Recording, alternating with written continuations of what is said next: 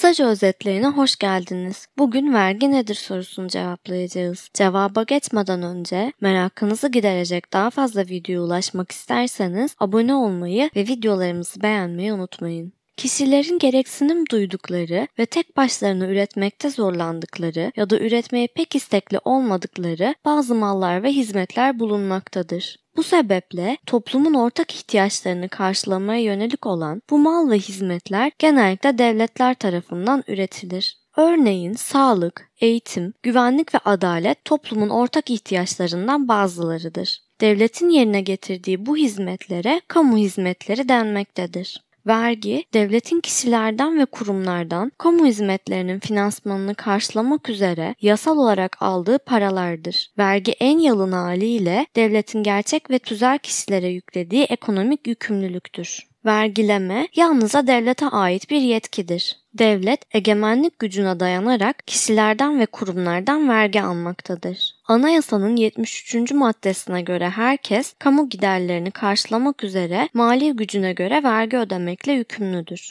Vergi ödemek bir vatandaşlık görevi olarak kabul edilmektedir. Bizi izlediğiniz için teşekkür ederiz. Diğer videolarımıza göz atmayı ve abone olmayı unutmayın.